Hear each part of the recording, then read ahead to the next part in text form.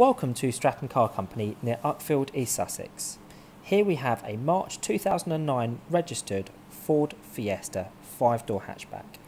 It is finished in Vision Blue Metallic and has the 1.4 engine with the automatic gearbox. It is the Zetec trim specification, which includes air conditioning, heated windscreen, remote central locking. It also has a few upgrades including the City Pack which included the electric power fold mirrors and rear parking sensors. It's undergone our meticulous valeting process, which includes a decontamination, red 7, full machine polish and wax. Has a comprehensive service history, will be serviced by ourselves upon sale and also benefit from a brand new MOT and a full thorough inspection. Will also be supplied with a warranty.